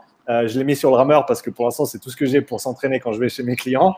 Et ça ressemble à rien du tout. Mais tu sais quoi? Il n'a pas assez de force. Il va pas se faire mal parce que les positions sont pas assez terribles pour se faire mal. Mais le, ça, ça ressemble à rien. Mais pendant les trois premières semaines, je l'ai même pas coaché sur le rameur parce que je savais qu'avec un, avec un, avec un jeune de son âge, si je commence à trop lui en donner dès, dès les premières semaines, je vais le perdre. Ça, c'est le plus dur quand tu as, bah, as, des jeunes surtout, c'est comment est-ce que tu crées cette connexion pour qu'ensuite ils, t'écoutent et que tu puisses les, entraîner sur le long terme à un développement athlétique euh, complet et, optimal pour eux. Mais ça commence par euh, la prise de contact, la relation que tu crées avec cette personne, euh, avec ce jeune en l'occurrence. Et, maintenant, voilà, ça fait trois semaines qu'on est dedans, on a fait des trucs sympas. Maintenant, on peut commencer à aller un peu plus en détail sur la technique. Et comme tu l'as dit, ça peut être difficile dans un contexte où tu n'es pas tout seul dans la salle, il y a d'autres coachs, il y a d'autres gens qui regardent, et tu es en train de coacher quelqu'un, et le mouvement ressemble peut-être pas à grand-chose. Euh, mais, mais, il faut avoir la confiance en tant que coach de, comme tu l'as dit, tant que la personne bouge de manière sûre, ça, peut ne pas être juste, mais il faut que ce soit sûr au niveau sûreté, au niveau enfin, il ne faut pas qu'il y ait de, potentiel, de gros potentiel de blessure avec les, on va dire, les défauts qu'il présente, mais il faut être OK avec le fait que ça va prendre un petit peu de temps pour corriger tout ça. Et plus on y va progressivement, plus les gens vont intégrer ce que tu dis et plus ils vont le retenir sur le long terme. Et comme on l'a dit avant, c'est ça qui fait la différence, c'est vraiment sur le long terme. Ouais, c'est clair. C'est. Euh, on appelle ça le, scaling en CrossFit, c'est l'adaptation à la personne. Et, les adaptations peuvent être nombreuses suivant, le, suivant la, personne. Un débutant ne sera pas scalé comme quelqu'un qui est là depuis quelque temps. Mm. Et euh, pour un débutant, parfois, l'important, c'est de, faire le mouvement en entier. Mais peut-être que c'est avec un PVC, c'est peut-être avec un balai. Mm. Je veux dire, tu t'attends pas à ce qu'un snatch soit parfait la première fois qu'il va le faire. Pendant le WOD, le snatch ne va pas être la partie la plus importante de cette personne. Enfin, mm. soyons honnêtes. Mais neurologiquement, essayer de comprendre comment il bouge son corps autour de la barre, ça, ça va lui apporter un vrai plus. Et c'est des choses qui sont souvent sous-estimées. Et, euh, ou alors à l'inverse. Les gens disent oui, mais je sens, je sens pas bien parce que j'ai pas la barre, c'est pas assez lourd. Bon, bah, si tu es allé en salle d'altéro, tu comprendrais qu'au bout de deux ans, le mec, il a toujours le balai entre les mains. Tu comprendrais que c'est pas la barre le problème. Mais, euh, donc, il faut, trouver le juste, juste milieu. Mais faut pas avoir peur de voilà d'aller chercher de la compétence neurologique, de l'apprentissage, et à côté mettre du fun et, mettre l'accent sur ce qui est coachable et intégrable au niveau de l'entraînement. Genre, on parlait des ergs. Hmm. Ils vont progresser beaucoup plus rapidement là-dessus et on va pouvoir y venir. Il y a des mouvements qui vont être plus simples à aborder que d'autres. Mais les autres mouvements, de toute façon, tant que tu les fais pas, tu les comprendras pas, tu les intégreras pas. Hmm. Il y a une manière de les emmener ensuite dans l'enseignement. Je suis d'accord. Nous, on a le principe du millefeuille. Tu sais, d'emmener progressivement des, ou alors de travailler des compétences séparées. Une hmm. extension de hanche sur un mouvement, un overhead squat. Tu vois, le sumo deadlift high pull, l'overhead squat. Tu viens de comprendre deux compétences nécessaires à faire un snatch. Ça va nous apporter quelque chose de mieux. Mais euh, comme tu disais, si tu, si tu balances trop de correcting à quelqu'un, waouh, il faut faire attention parce que souvent tu sors de là, tu es jeune et tu es en train de dire tu sais pas, tu fais pas bien, tu fais pas bien, tu fais pas bien à quelqu'un qui est plus vieux que toi. Mhm. Et les gens plus vieux, ils viennent aigris, ils détestent beaucoup de choses, dont souvent se faire reprendre. Genre, c'est pas moi tu vas apprendre la vie maintenant. Bon, malheureusement, c'est mon domaine de compétence. Donc, c'est pour ça qu'il faut faire attention aussi, comme tu disais, à, pas balancer trop de. Attention, non, tu sais, déjà, il faut rester positif dans le, le correcting, le coaching. Je pense que mhm. c'est un des trucs les plus difficiles. Mhm. Ok, c'est bien, mais j'attends un, petit peu mieux. Voilà ce, ce que j'attends ou voilà ce qu'on pourrait faire. Voilà ce que tu vas faire. Mhm. Euh, plutôt que non, fais pas ça. Mais, mais même ça, c'est quelque chose. Ça, enfin, il y a des mecs qui le font et ils disent non, mais c'est rien.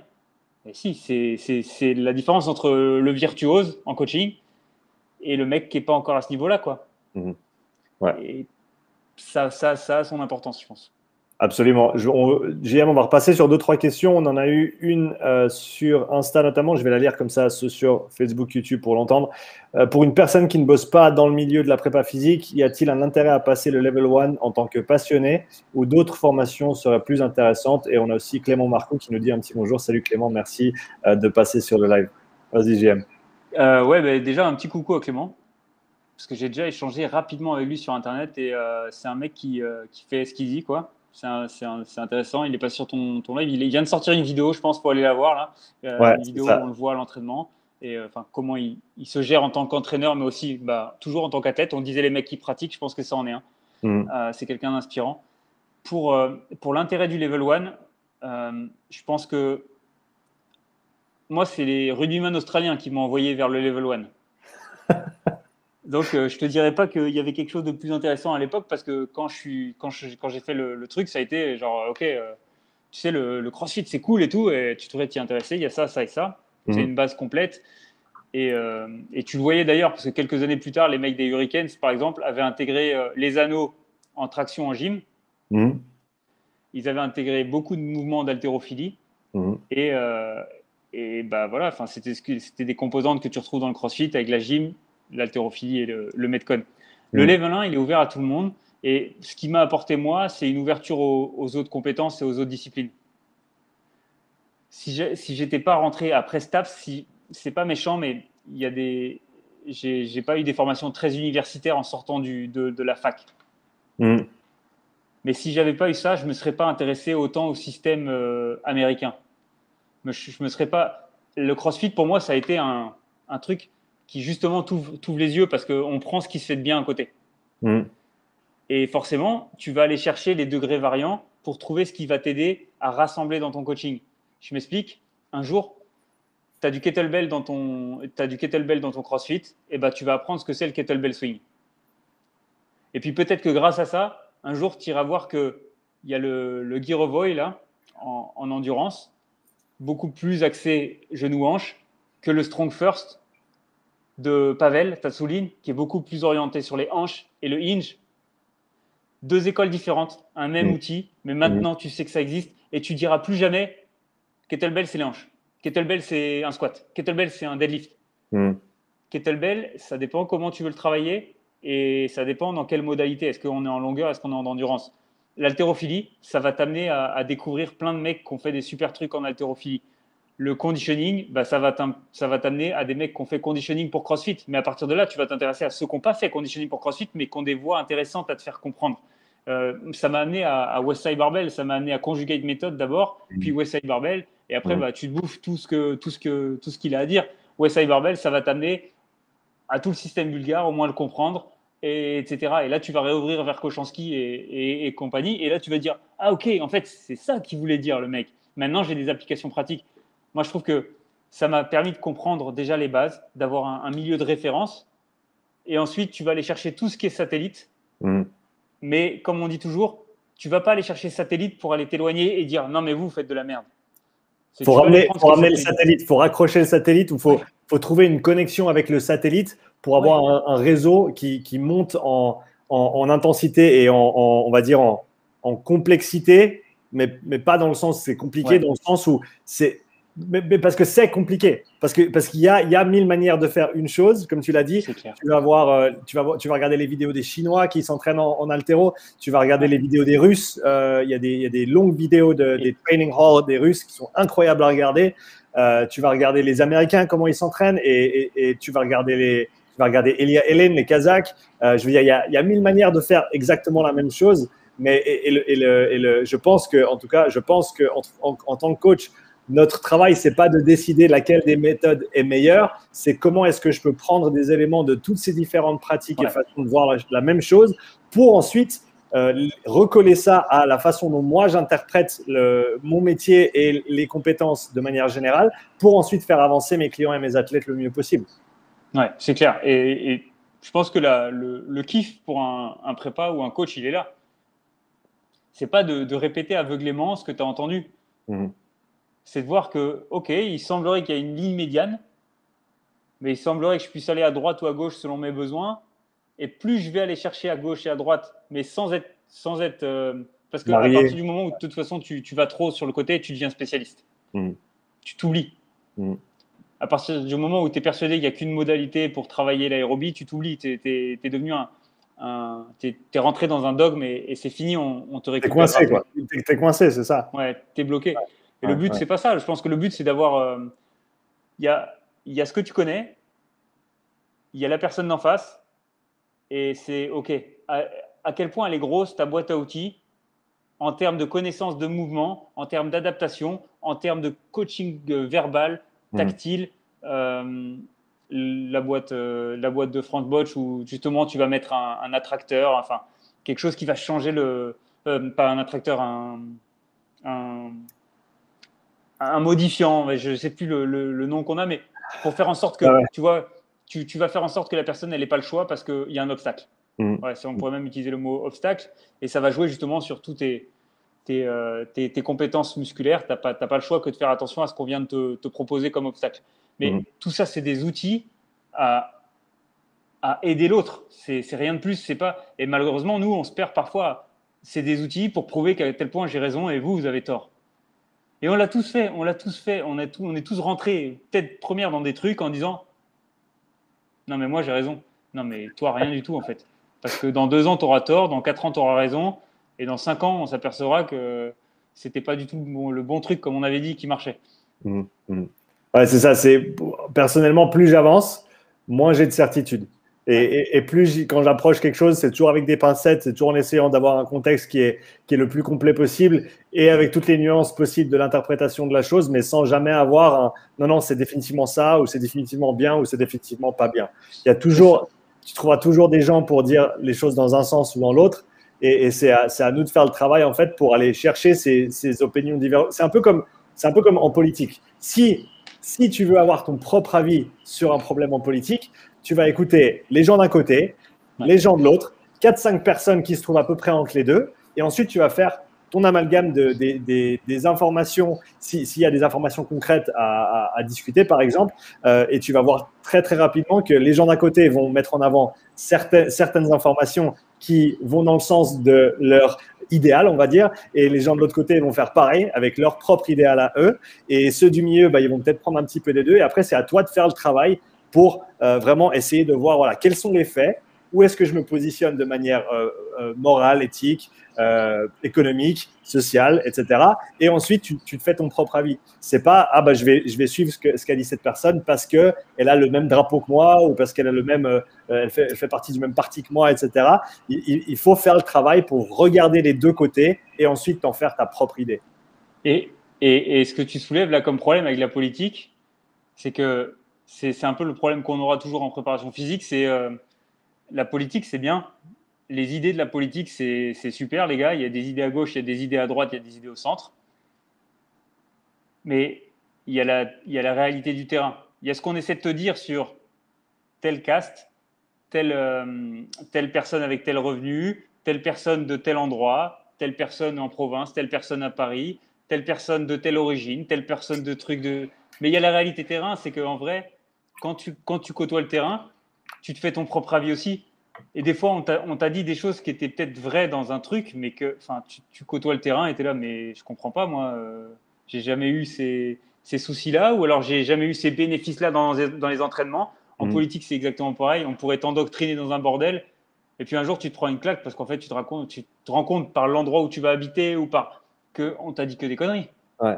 j'ai, un, on t'a fait peur pour rien, tu vois ce que je veux dire J'ai un exemple super intéressant. J'avais eu une conversation avec, euh, avec une, une, joueuse de rugby euh, du club avec lequel je travaille. On était allé faire une formation rugby et sur le chemin du retour, on avait, on avait pris la voiture ensemble, on avait bien discuté et elle m'avait parlé d'un moment. Donc, elle, elle penchait plutôt d'un côté au niveau politique. Euh, bah, elle, penchait, elle penchait plutôt à gauche on va dire. Et euh, elle était allée chez une amie à elle. Elle avait passé une après-midi euh, et son amie avait dû partir faire quelque chose. Elle avait rencontré ce monsieur très très sympa dans le salon. Ils avaient discuté, rigolé pendant 2-3 heures. Super conversation. Et elle a découvert après coup en fait que ce monsieur-là, c'était un des leaders d'un des partis de, droite en Suisse. Et donc euh, théoriquement, enfin théoriquement un, monstre, et j'utilise ces mots, hein, j'exagère même pas, du, fait de son affiliation avec ce parti politique, mais elle s'est rendue compte en fait que de passer 2-3 heures avec ce bonhomme sans, sans parler même de, ses affiliations ou de ses, penchants politiques, eh ben, elle, a découvert un, homme qui, qui, qui n'adhérait pas du tout à la caricature qu'elle se faisait des gens qui faisait partie de ce, côté-là, on va dire. Et, ça, lui a vraiment, ça l'a vraiment forcé à, remettre beaucoup de choses en question. Comme tu l'as dit, ça, sans un contexte très très précis. Et encore une fois, il y a, mille points de vue différents. C'est impossible de. Faire très attention avec des, généri, des surgénéralisations, on va dire, parce qu'encore une fois, plus elles sont larges, moins elles s'appliquent à toutes les situations. Ouais, de ouf. Et nous, on a ça comme problème en prépa physique. C'est là, on parlait de la politique et du terrain et de la réalité de ton environnement et de comment tu vis au quotidien avec des gens. Mmh. Et nous, on a ça avec la, prépa physique, le coaching terrain et la science. Mmh.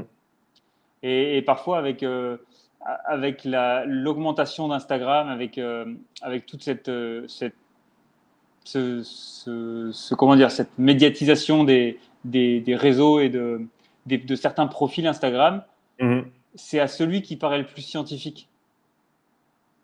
Et le problème, c'est que du coup, parfois, tu vas, et c'est l'exemple de, voilà, du, truc où, euh, je sais pas, tu avais vu ce, petit dessin sur Facebook où euh, tu avais un mec super musclé quand on encourageait un mec qui, un mec qui démarrait la muscu sur Internet, l'autre aussi super musclé. Et tu avais euh, Jean-Michel J'ai les morts pour tout le monde qui insulte tout le monde sur Internet et qui dit que c'est de la merde ce que tu fais parce que c'est pas la bonne série, c'est pas le bon truc. Mais on en est un peu là aujourd'hui, mais du côté de la science, c'est-à-dire que les gens vont se servir de la science comme d'un truc qui est, euh, qui est, qui est euh, non négociable, mm. on, peut, on, ne peut pas, euh, on ne peut pas revenir derrière la science. La science, c'est la science. Si la science a fait les tests et qu'elle t'a dit que ça marchait pas, ça marche pas. Et tu es là, oui, mais je veux bien, mais du coup, si un, si un mec en entraînement l'utilise depuis, depuis X années comme, comme volume d'entraînement, comme, comme, comme exercice pour aller cibler, je sais pas moi, le haut des pecs, le truc comme ça, et que toi, tu viens et que tu dis non, mais regardez, etc. Parfois, ça nous amène un vrai changement, mm. mais c'est une sorte de science d'avoir emmené son corps à un certain développement. Là, on prend le développement esthétique et physique, mais parfois c'est le développement des performances.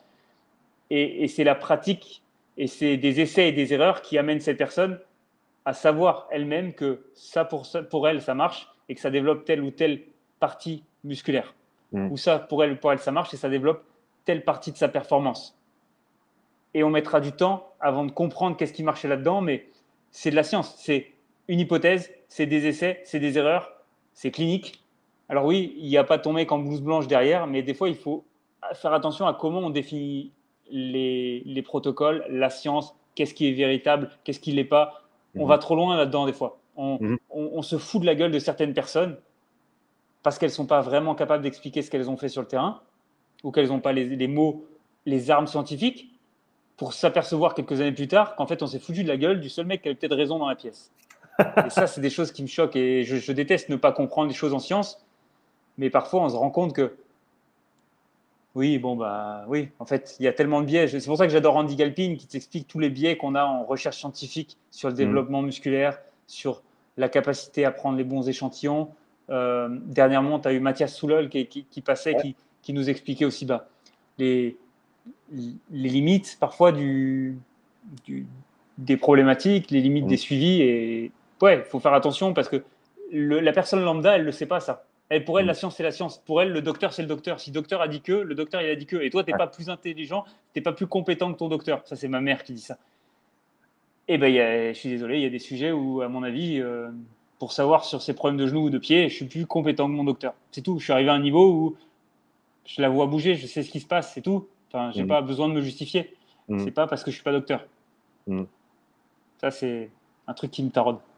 Ouais, et, je pense que c'est une conversation qui est importante à avoir justement pour essayer de, toujours être dans la, dans la, réflexion en fait et dans, les, et dans les hypothèses et ensuite on va tester les hypothèses. C'est ça en fait le processus scientifique, c'est tu émets une hypothèse. Déjà il, faut, déjà il faut observer quelque chose. Soit il faut beaucoup réfléchir, soit il faut observer quelque chose, émettre une hypothèse, tester, essayer de, essayer de casser ton hypothèse au travers de, tests.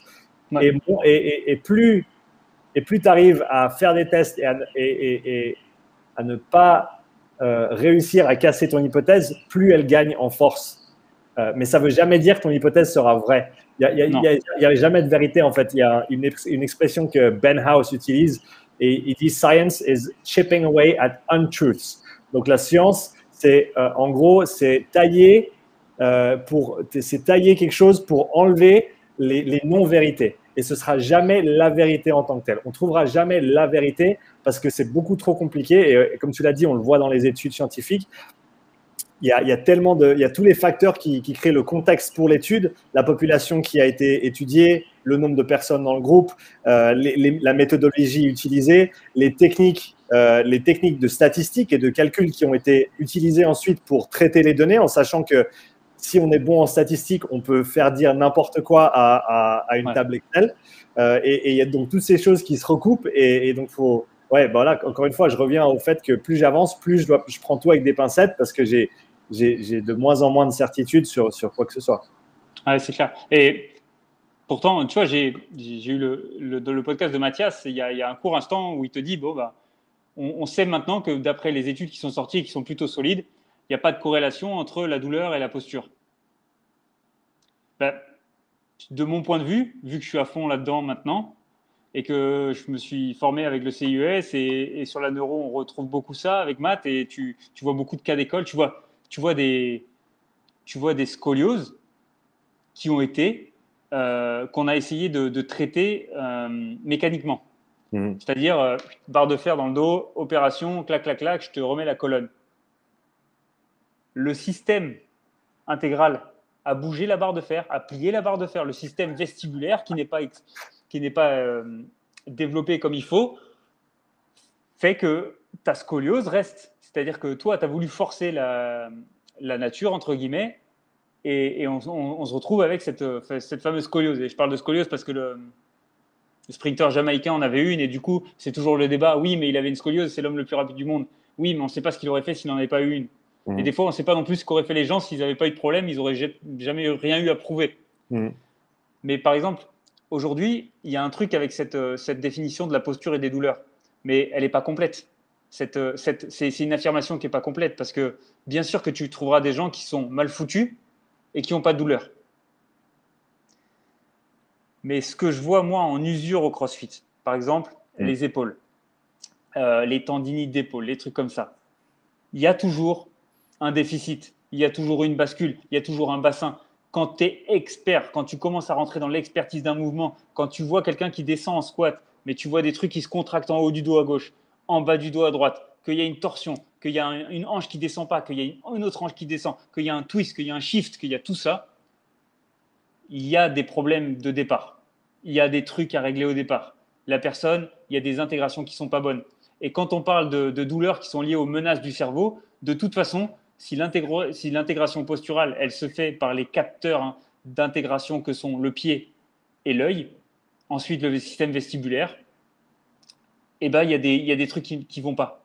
Il y, a mmh. des, y a des systèmes qui ne, sont pas, qui ne sont pas bien réglés. Et mmh. peut-être que on peut voir ça sur quelques études, mais nous, dans la salle, je peux te le dire, ben, je le vois. Quand un mec a une épaule qui est ici et l'autre qui est comme ça, et qu'il y en a une qui est plus haute que l'autre, et qu'il se, il se flingue à l'épaule, il y a un problème. Quand il n'y a pas un développement musculaire à droite qui est développé musculairement à gauche, on va vers les problèmes. Et mmh. ça arrive tout le temps. Et c'est mmh. inéluctable. Mais il y a un problème peut-être de lecture, c'est-à-dire que oui, peut-être qu'il y a des personnes qui ont des mauvaises postures, mais qui ont tellement pas eu besoin d'utiliser leur corps, tellement tout est ubérisé, que de toute façon, le signal d'alerte n'a pas commencé. Ouais, c'est clair. Il va peut-être arriver un jour ou l'autre. Il y a des gens qui n'ont pas le même rapport à la, douleur. Mmh. Ouais. Il y a des, il y a, il y a la, douleur, là, on est en train de, faire un pont dessus, là, au niveau neurologique. On, comprend beaucoup de choses sur la douleur, sur l'exacerbation de la douleur, sur euh, euh, les douleurs aiguës, les douleurs euh, plus, plus, plus, plus sourdes. Mmh. Mais la douleur, on pourrait l'expliquer de mille façons. Le signal de menace que le, que le, que le, que le cerveau détecte. A contrario, tu pourras comprendre qu'il y a des personnes qui bougent beaucoup, qui ne sont pas complètement d'équerre au niveau posture, mais le fait d'avoir cette armure de fitness les protège globalement, s'ils sont assez mobiles, s'ils sont assez musclés, contre le problème qui, est en train de taper à la porte. Mm. Peut-être que le poids des années fera quand même son effet. Donc, c'est toujours une question de définition et c'est ça qui m'embête un petit peu euh, sur, les, sur les Instagram, pas sur Mathias Soulol, parce que j'ai adoré l'interview et j'ai compris euh, les, ce qu'il emmenait, mais c'est mm. plutôt euh, les personnes qui amènent des vérités sur des petits trucs comme ça Instagram et qui te dit euh, la posture n'a rien à voir avec la douleur, le truc n'a rien à voir avec ça, le truc. es là. Euh, Mais il y, a tout au final. Enfin, et, et c'est sûr les gars. Ouais, et, et sans non plus, euh, on va dire invalider tout ce qu'on a dit en, allant trop loin, mais tout est connecté avec tout. Je, veux dire, plus, plus j'y pense, le, le, corps, notre corps, le corps humain, c'est c'est un outil qui est à la pointe de la technologie, qui est tellement, qui est tellement avancé qu'on ne le comprend même pas en fait qu'on essaye et qu'on tout ce qu'on peut, c'est apercevoir des, des, petites relations ici à gauche, ici à droite, mais, mais tout fonctionne ensemble. Le système métabolique, euh, tout ce qui est du système bioénergétique, tout ce qui est du système euh, neuromusculaire, tout ce qui est du système euh, biopsychosocial, toutes ces choses-là, en fait, c'est tout intégré dans une unité qui est l'être humain. Et, et, donc, on est, on est encore à des années-lumière de, de comprendre comment notre, notre corps fonctionne de manière intégrée le mieux qu'on puisse faire, c'est le décortiquer dans ces disciplines euh, diverses et variées et toutes fascinantes, toutes plus fascinantes les unes que les autres pour essayer de comprendre petit à petit les morceaux qui fonctionnent. Mais encore une fois, on a, on a des super ordinateurs, on a des choses qui font des, milliards de calculs à, la microseconde, euh, mais on n'arrive toujours pas à, comprendre comment le corps fonctionne ou à recréer un, un outil technologique qui va pouvoir euh, avoir toutes les mêmes euh, possibilités que, que, le corps humain. Et ça me fascine quand je pense à ça parce que ça permet de mettre les choses un petit peu en, euh, vraiment en contexte et prendre de la perspective par rapport à, à, la, chose avec laquelle on travaille en fait. C'est ça. On travaille avec des êtres humains. On travaille avec une entité extrêmement complexe qui a des, des inputs et des outputs, des, des milliers par, par, par, par, jour, même pas par jour, par minute. Et, et, et donc, c'est, il faut être assez humble en fait quand tu approches, quand tu approches ça. Euh, parce qu'on n'aura jamais tout compris. Et, comme tu l'as dit, dès qu'il y a des, vérités absolues qui sont, euh, euh, qui, qui, sont mises en avant, c'est là où il faut, faire, il faut commencer à faire très très attention. À mon avis, il y a une, il y a un, il y a, il y a une chose absolue que, que, je suis prêt à dire, c'est que plus de sommeil, c'est mieux pour 99% des gens. C'est clair qu'il y a des gens pour qui c'est problématique, mais là, on part dans la pathologie. C'est une des seules certitudes que j'ai, c'est que pour la grande majorité des gens, si on dormait plus et mieux, on, on, s'en sortirait tous mieux. Mais à part ça, j'ai aucune certitude. Ouais, ouais, ben, c'est ce que tu dis. Je me souviens d'une une fois un échange avec Keegan Smith. Mm-hmm et on discutait du, du de l'élément euh, qui, qui, est au-dessus de tout. Et l'élément, c'est quand tu te sens bien. Mm. C'est-à-dire que il disait, euh, ouais, il y, a des athlètes, euh, ils ont la bouffe qui est d'équerre. L'entraînement, il est comme ça. les, les, niveaux de performance, nanana, ils essayent de les maintenir tout le temps, quoi qu'ils fassent, où qu'ils aillent. Et pourtant, ils vont se blesser. Et puis des fois, tu as un mec qui est à côté et qui est le mec le plus insolent par rapport à ta vérité si tu t'entraînes comme ça du monde, c'est une clope après l'entraînement, c'est euh, la chistole du samedi, quoi qu'il arrive, les copains qu'on gagne ou qu'on perde. Et ce mec-là fait des meilleures performances que toi. Ce mec-là se blesse pas. Euh, il y a des gens comme ça. Il y a des gens qui ont des, des, trucs. Euh, qui seraient peut-être cancérigènes pour tous les autres, et c'est ceux qui vont tous nous enterrer. Ils vont vivre plus longtemps que nous. Et il y a un truc au rapport, il y a un rapport à la comment tu te sens bien dans ta vie aussi. Et il y a des choses qu'on ne peut pas expliquer. Il y a des choses où, bien sûr que c'est bien de, je veux dire, c'est bien d'aller éviter l'obésité par une, une, bonne hygiène de vie. C'est bien de s'entraîner, c'est bien de tout ça. Mais ça serait bien aussi de kiffer sa vie parce que si tu as un rapport très euh, punitif mmh. avec le, le, monde qui t'entoure, tu n'es pas plus heureux. Et si tu n'es pas plus heureux, tu es en train de créer des problèmes. T'inquiète pas que tu peux avoir vu le posturologue, tu peux avoir fait les programmes qu'il faut, tu peux avoir travaillé ta fréquence cardiaque à tel truc, tel truc, et tes, étirements. Il y a des problèmes qui vont arriver. Il y a, comme tu disais, l'ensemble, l'ensemble est bien trop grand. On essaye de mettre des cases. Là, je parlais de la posture, c'en est une autre. Euh, euh, mais, mais, dans la posture, par exemple, tu vas voir qu'il y a des choses que tu résous pas parce que, bah, justement, au niveau psycho-affectif, psycho-émotionnel, eh ben, t'as pas touché le bon truc. En fait, le mec, il t'a pas tout raconté et c'est foutu il y a des personnes, ils ont mal au dos, et puis le jour où ils changent de taf, le jour où ils déménagent, le jour où ils quittent leur conjoint, leur conjointe, euh, il n'y a plus mal au dos et ça revient jamais. Et puis, bah, va comprendre, toi, tu as essayé tous les protocoles de, de comment, de, euh, comment il s'appelait euh, Pas Mackenzie. Mackenzie, c'était pour les. Stuart. Stuart McGill. McGill, voilà, c'est ça. Ouais, donc je pense qu'il faut être vachement prudent. Mais on est dans un monde où on cherche à avoir raison. On est dans un monde où on cherche. Et, d'un côté, tu es obligé, parce qu'on parlait de la crédibilité et de l'aura. Mm, mm. Mais si tu n'as pas de conviction toi-même, mais qu'est-ce qu'on va aller chercher chez toi si tu as zéro conviction? Parce que si tu as zéro conviction aussi, tu fais rien. Tu dis oui, mais c'est un tout et je ne peux pas influencer dessus. Ouais. Faut, je pense qu'il faut faire, faut faire la part des choses. C'est OK, c'est plus grand que moi, tout ce qui m'entoure. Mm. Mais moi, je peux. C'est comme le mec qui, qui fera rien parce qu'il dit qu'il ne peut pas changer le monde ou qu'il ne peut pas changer sa vie. Ouais, c'est plus grand que moi. Ouais, attention à la, manière dont on se pose en, en victime ou en, en, leader de responsable de sa vie, quoi. Je hmm. pense que tu peux toujours faire quelque chose, tu peux toujours impacter les gens. Ouais, et, encore, on en revient à trouver le juste milieu entre deux extrêmes qui seront, seront jamais la, la, la, meilleure porte pour avancer. Euh, et, donc, essayer de, de trouver un équilibre quelque part au milieu avec les repères qu'on peut se trouver, euh, c'est le mieux qu'on va pouvoir faire. JM, euh, Combien de temps il te reste? Il me reste un petit peu de temps. Et je voulais rebondir sur un truc qu'on avait dit au premier, euh, au premier, au premier podcast. Ouais, vas-y, vas-y. Euh, j'ai écouté un podcast. C'est un mec qui s'appelle euh, Marc Wetzel. D'accord. Et il est considéré comme expert en, euros. C'est un, un chiro de base, je crois. Et le mec était interviewé sur Just Fly Performance Podcast. Je ne sais pas si tu connais. C'est un truc qui, qui, a beaucoup de trucs de sprinter. Et justement, Pat Davidson qui était chez toi, je l'ai entendu là-bas aussi. Mhm. Et euh, j'avais beaucoup aimé Pat Davidson sur ton, sur ton podcast, donc je le dis comme ça. J'espère que les gens iront écouter ton podcast avec lui. Allez, allez écouter Pat Davidson. Allez écouter Pat Davidson. Il a, je, vais le mettre là parce qu'il faut absolument.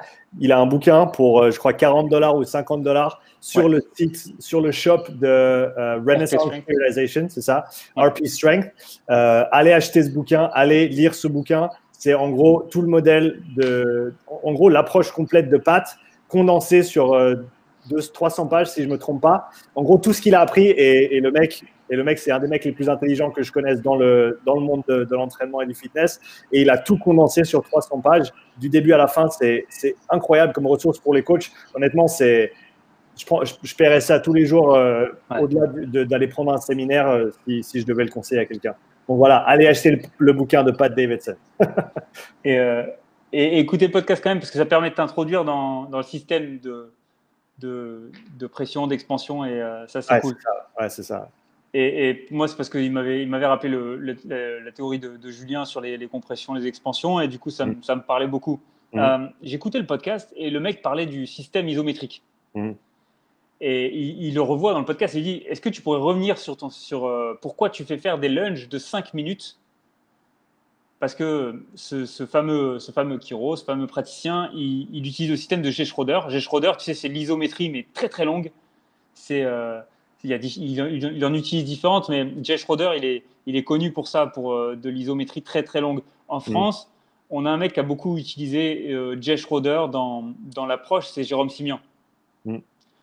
Jérôme Simian, il a le, l'athlète Kevin Meyer, ouais. qui, qui est c'est quand des preuves qui doivent. Hmm Décathlonien. C'est décathlonien. Hmm. Et, et, Jérôme Simian, il semblerait, quand tu regardes un petit peu le truc, qu'il n'a pas eu les faveurs non plus de la Fédé. c'est pas, c'est pas quelqu'un qui était dans le. Tu sais, des fois, tu es à côté, des fois, tu es dedans. Et puis, il était, lui, il n'était pas vraiment dedans. Donc, euh, il, a, il avait des convictions, il a pris des risques. Et il a utilisé beaucoup de méthodes de G. Schroeder. Et ce gars-là a utilisé les méthodes de G. Schroeder aussi pour la redéfinition de la map par rapport justement au capteur de donc tous tes organes tendineux de Golgi, tes FNM, mmh. sur des lunges, sur des descentes, sur des lunges qui durent 5 minutes et, le mec lui, reposait la question, il dit, mais pourquoi 5 minutes?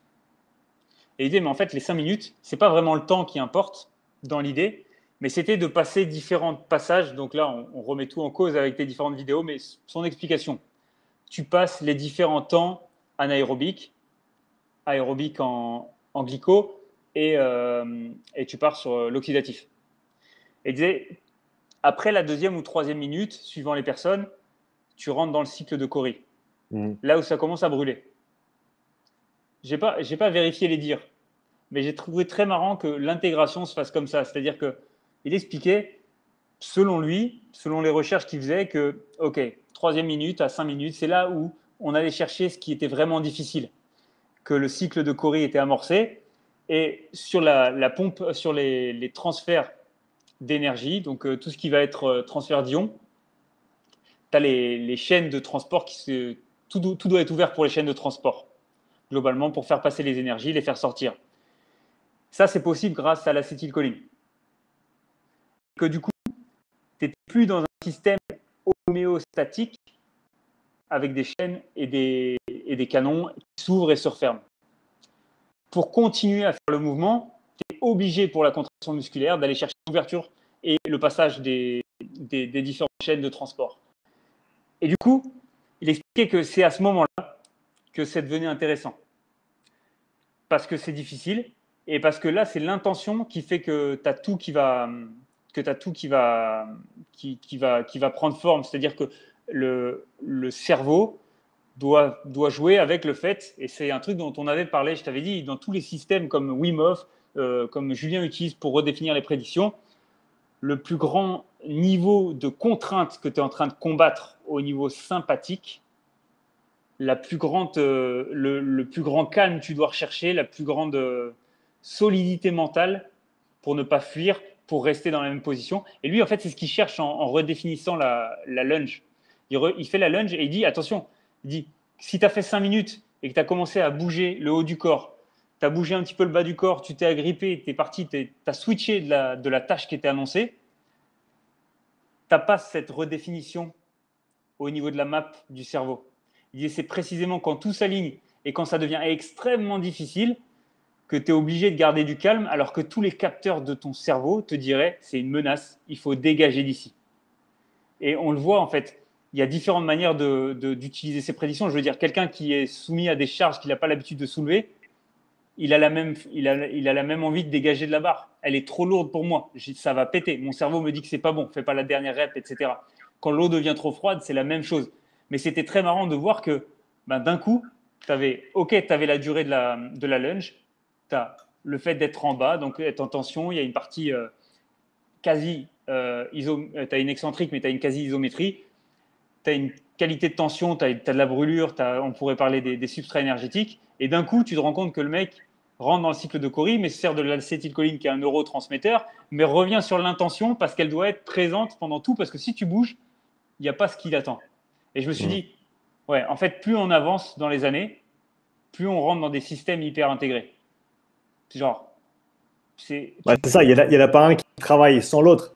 Et, c'est super intéressant d'avoir cette perspective là-dessus parce que si tu me demandes à quoi ça sert en tenue isométrique en, fente pendant, pendant, une période prolongée, de ce que j'ai appris de Jake Tura par exemple, c'est que tu vas pouvoir et un des aspects d'un ISO comme ça prolongé, c'est que tu vas pouvoir en fait atteindre euh, tout ce qui est des tout ce qui est de l'articulation, des tendons, des ligaments.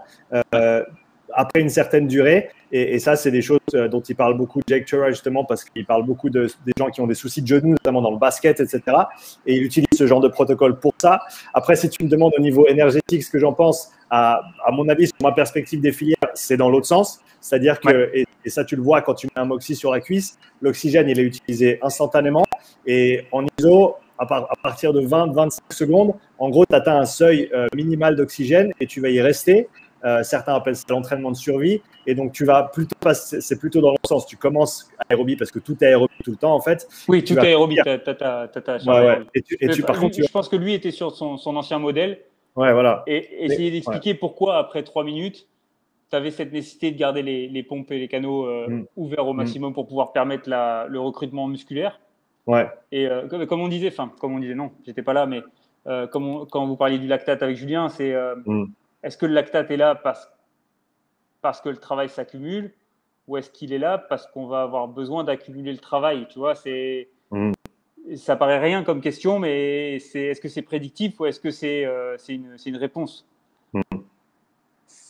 c'est une vraie question. C'est non, en fait, je pense que le système est plus intelligent que nous.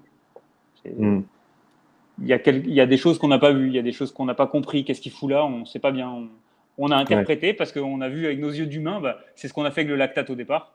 On hmm. a appelé l'acide lactique, mais on se rend compte, plus tu avances, plus les systèmes sont intégrés, les sphères s'intègrent. Donc neurotransmetteurs, et, comme tu as dit, que ce soit au niveau métabolique, au niveau énergétique, au niveau neuromusculaire, euh, avec, avec toutes les composantes, avec, ouais, je veux dire, tu, et c'est un exemple qui n'est pas lié à ce qu'on dit là, mais le fait que la, la, majorité de la sérotonine est créée dans notre estomac, euh, qui est un des neurotransmetteurs les plus importants, euh, ça, ça, te montre juste, encore une fois à quel point tout est intégré et on peut et c'est vraiment en fait très très difficile d'arriver à des conclusions sérieuses si tu prends pas une approche multi ou pluridisciplinaire euh, et en, intégrant les, différentes facettes d'une chose que tu vas faire en fait. Ouais, mais c'est comme là. Enfin, je veux dire, j'ai pas écouté les, j'ai pas vu de définition de pourquoi l'acétylcholine et, et parce qu'après il expliquait le reward de la dopamine derrière. Ouais. Et on sait que tu es sur un terrain glissant. C'est genre, mm.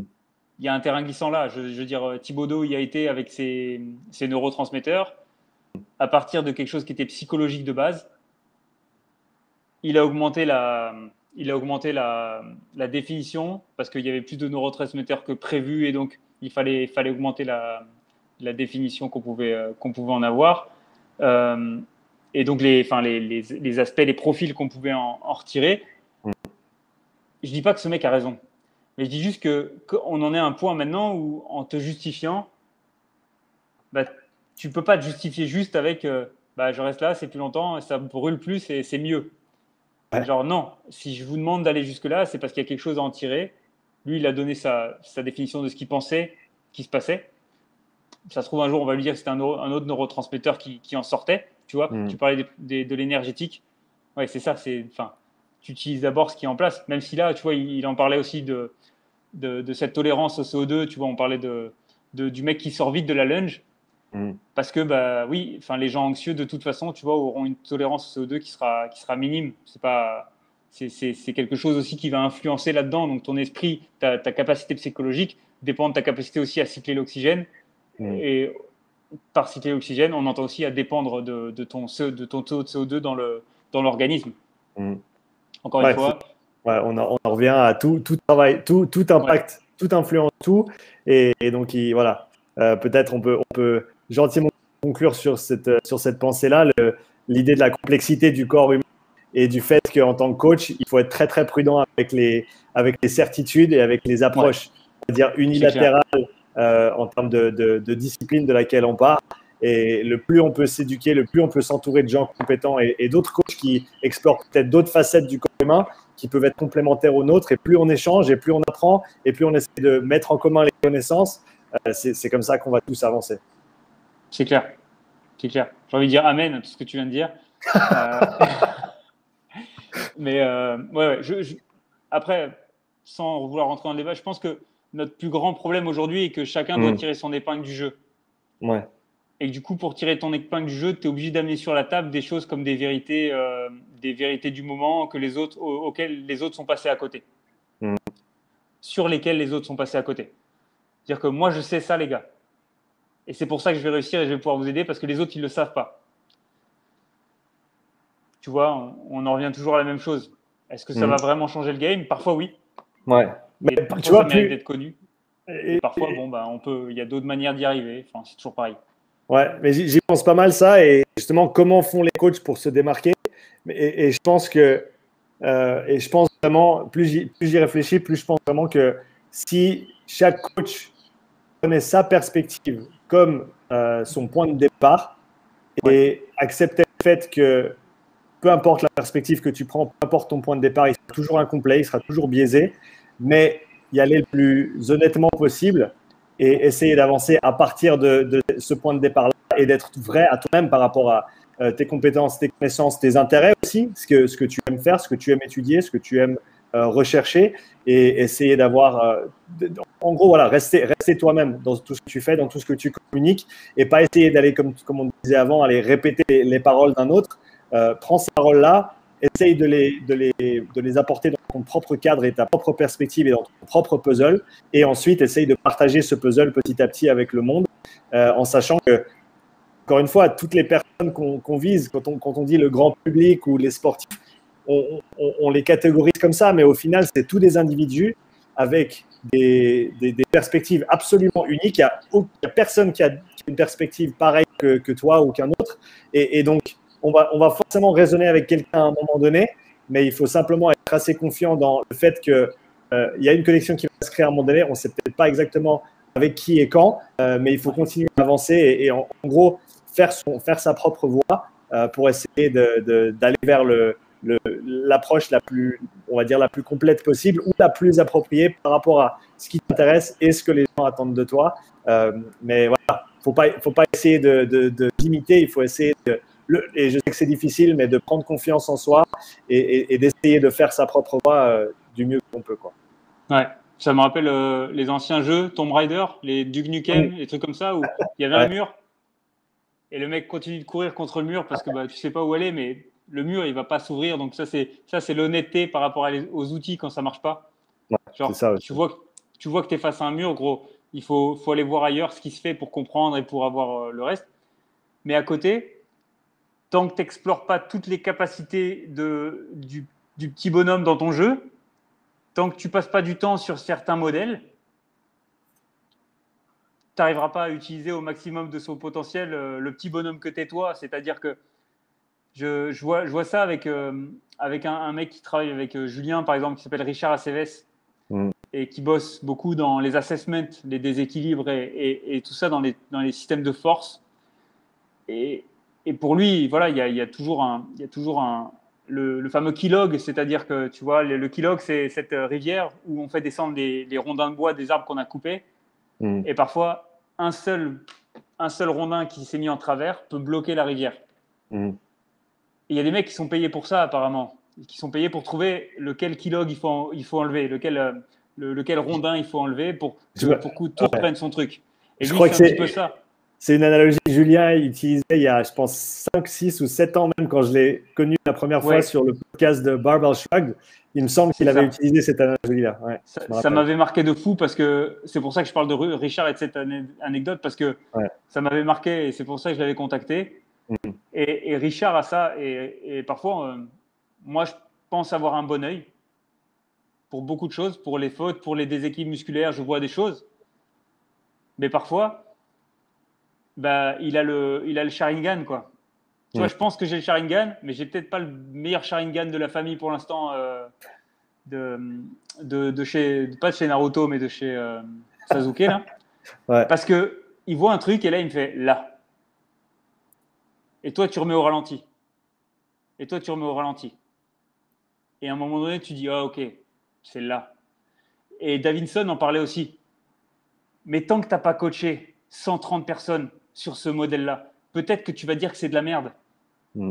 Que ça marche pas parce que le mec, il n'y a rien en face de toi. Tu vas dire, il n'y a rien, c'est de la merde, ça marche pas ton truc. Mais tu n'avais pas les outils pour le voir. Mais tu n'avais pas les outils pour le voir. Et il y a hmm. tellement de choses où c'est le cas. C'est-à-dire que n'as pas passé assez de temps sur le, Minecraft, tu n'as pas assez, assez, de temps sur le truc pour, à un moment donné, dire Ok, c'est bon, j'ai compris. Là, je mm. l'ai. Et c'est pour ça que je pense qu'il y a les deux. Il y a, parfois, tu es face à un mur, faut arrêter. Alors, Tomb Raider, fais demi-tour, va chercher ailleurs. Par contre, explore bien toute la pièce parce que peut-être que tu n'y as pas assez joué. Ouais. Ouais. Et je dis pas bah, ça parce que je suis resté coincé dans la grotte pendant je sais pas combien de temps parce qu'on m'avait pas expliqué où il fallait aller.